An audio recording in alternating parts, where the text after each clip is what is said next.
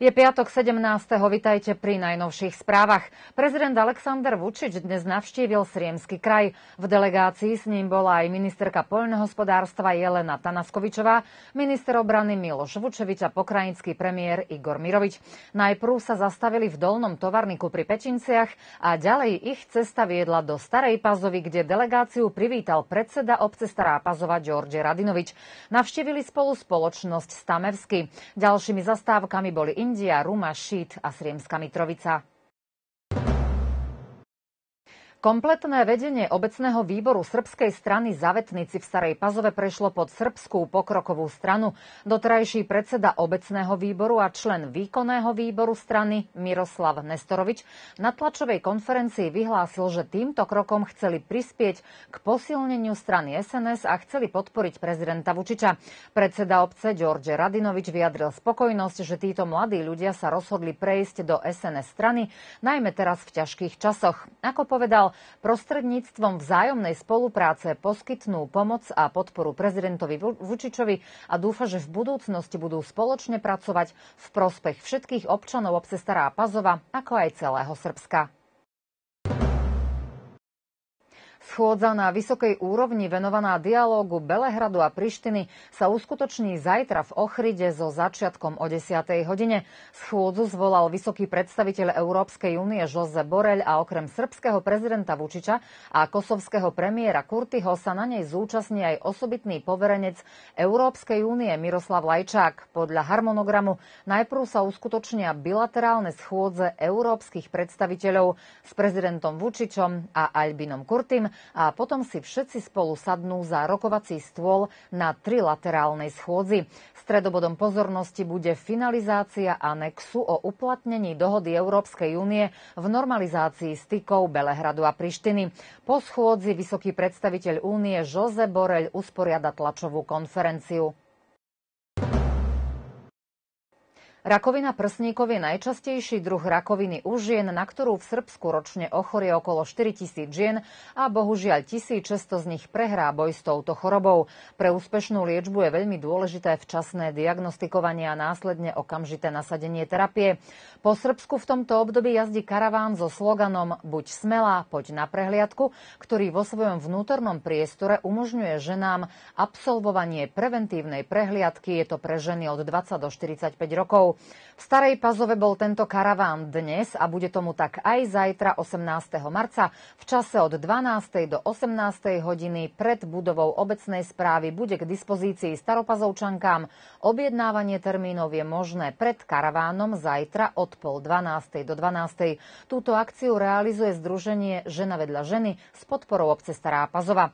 Preventívne prehliadky v tomto karaváne sú bezplatné.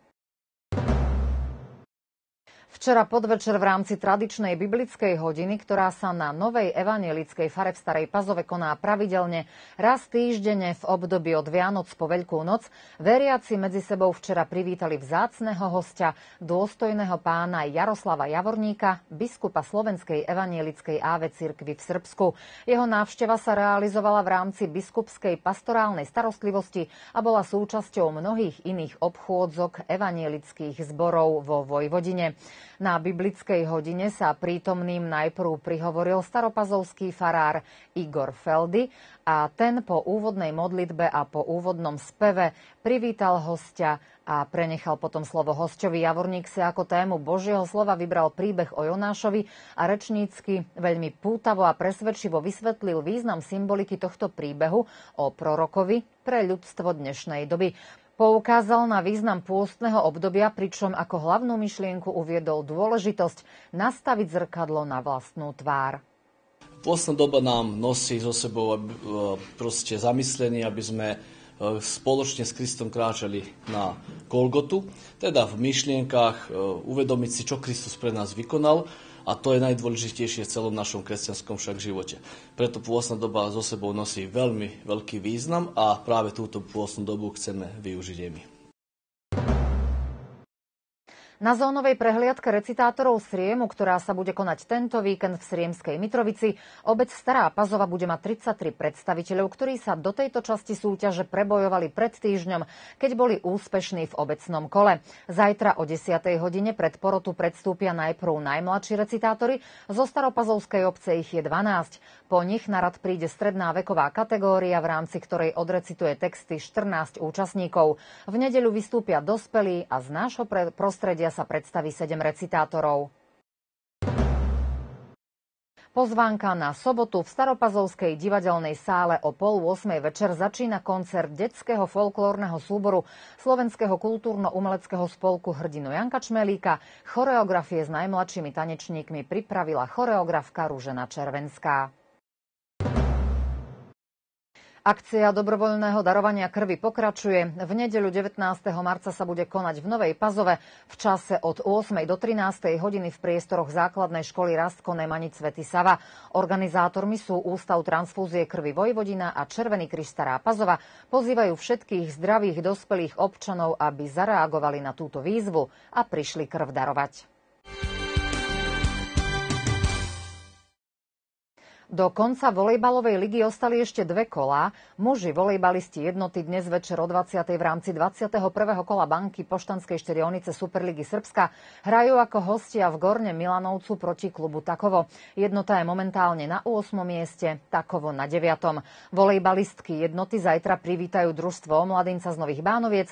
Bude to druhé stretnutie dvoch ženských superligových tímov z obce Stará Pazova v tejto sezóne. Zápas sa hrá zajtra v hale jednoty o 18 hodine. Basketbalisti Dunaja zo Starých Bánoviec v rámci 26. kola Admiral Bet Basketbalovej ligy Srbska v sobotu privítajú klub Kolubara z Lazarevca. Výsledok ich prvého stretnutia bol 81-71 v prospech súperovho klubu. Zajtra sa zápas odohrá v Hale Park v Starej Pazove o 18. hodine.